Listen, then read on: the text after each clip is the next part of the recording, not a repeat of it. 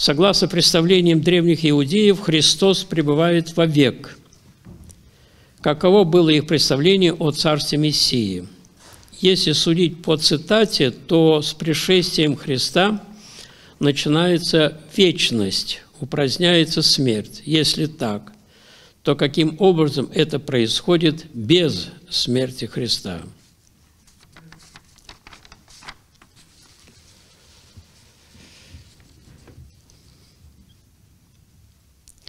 Вы учтите, когда мы читаем Священное Писание, то должны понять одну очень важную вещь.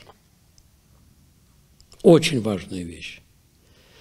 Там очень много образных, метафорических слов. Полно. Когда уж прямая притча, и сказал Христос, и говорит, вот притча. Ну ладно, если мы понимаем, здесь все-таки притча – но, но во многих случаях, например, он, Христос, не предупреждал о том, что это притча, а просто говорил. И при прямолинейном понимании этих слов мы встанем в тупик. Самый яркий, например, пример, или один, по крайней мере, из них. «Кто не будет есть моей плоти и пить моей крови, не имеет жизни вечной». Помните? Отошла группа большая группа учеников. Что это такое?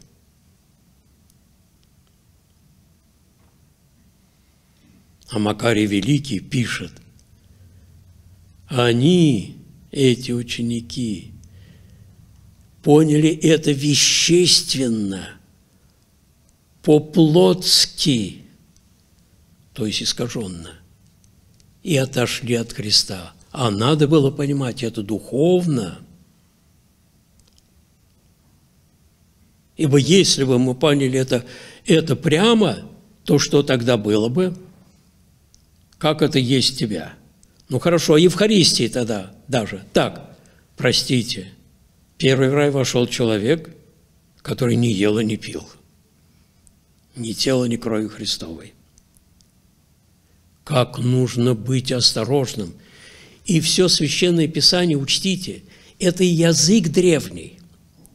Сам характер, характер проповеди, характер выражений, он очень, нужен очень образный метафорический характер. Скажите, где критерии правильного понимания? Что нам тогда делать?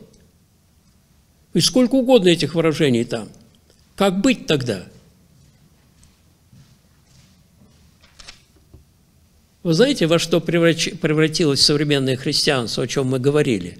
Откуда это произошло? Одна из причин – о том, что все эти высказывания Священного Писания Ветхого и Нового Завета стали понимать как? А вот так, как я понимаю.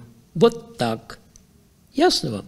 А вы скажете, извините, а я понимаю вот так. Да. А он скажет, а я вот понимаю вот этак. Четвертый скажет, хм, по-моему, вот нужно вот и так понимать и рассыпались все. И рассыпались. Ты, Петр, на этом камне созижду церковь мою. Ух, схватились. А что пишет апостол Петр об этом камне? Это в сторонку. Друзья, вы слышите, перед чем мы стоим?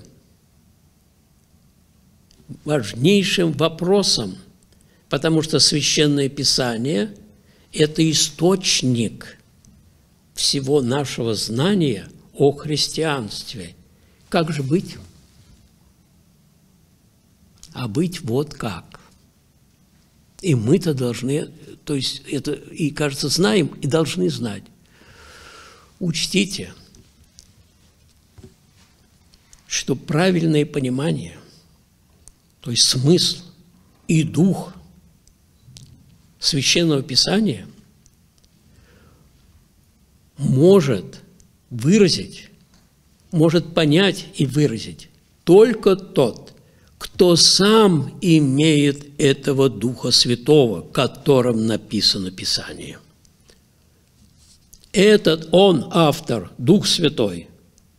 И если его не будет в том человеке, которые пытаются понимать, то ждите. Тут могут быть какие угодно ошибки и заблуждения.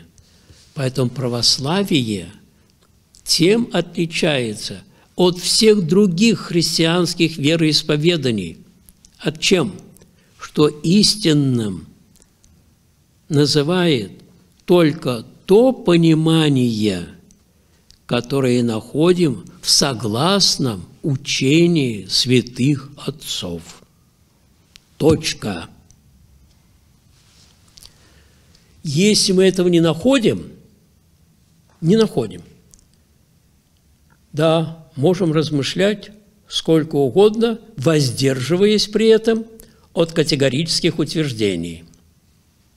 Преподобный Ава Исаия пишет, запомните, кстати, в отношении всех фанатиков, которые с пеной у рта настаивают на своем понимании, пишет, запомните, пожалуйста, преподобный Ава Исаия, тот, кто читает и изучает Священное Писание и, кажется, понимает его. Но если при этом упорно его слово, упорно настаивает на этом своем понимании, тот лишается славы Божией.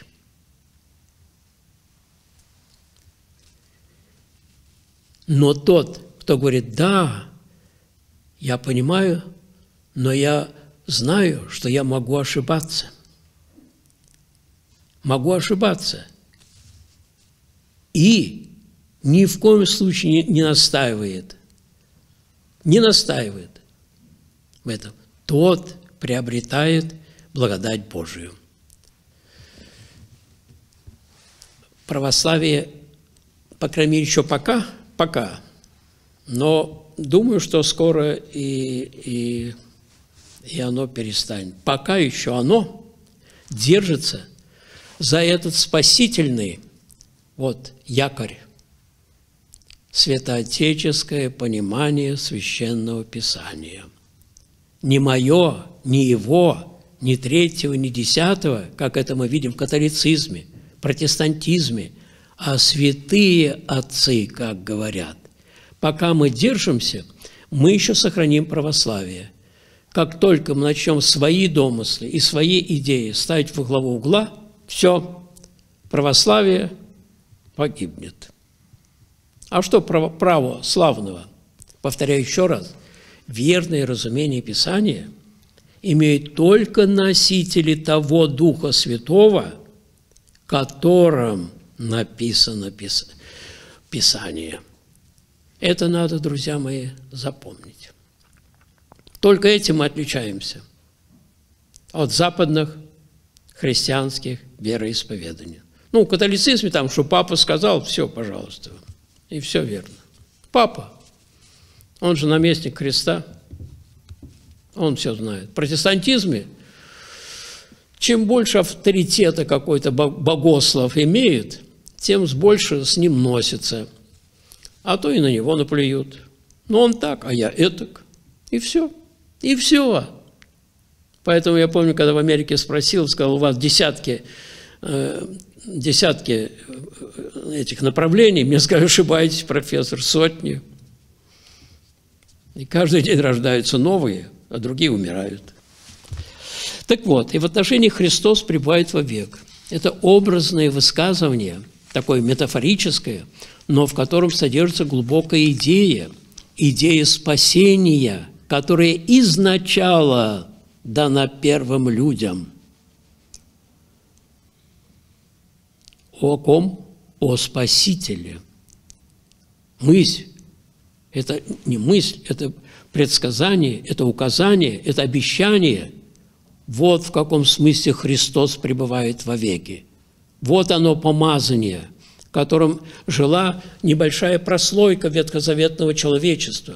Вот через Авраама и, и прочих. Совсем небольшая. Она все сужалась к, ко времени Христа – совсем небольшой ручеек остался, пока, пока не пришло само явление вот, Христа.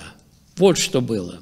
А до этого было это пророчество, предсказание, указание, Указание «вот Он, Спаситель». Кстати, отсюда и слова понимаются апостольские, что Христос есть исполнение закона. Помните, Христос говорит, я пришел не нарушить закон, а исполнить. Помните вы это? Исполнить. Вот это исполнение закона, что есть? Он сам. Он, Христос. Да, Он пришел, вот Он явился, вот оно исполнение закона, а не эти мелочи. Кружки мыть или лавки после торга – или нет.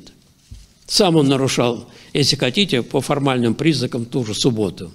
Не об этом речь идет, а об исполнении закона. Вся суть закона ветхозаветного в ком? В Христе.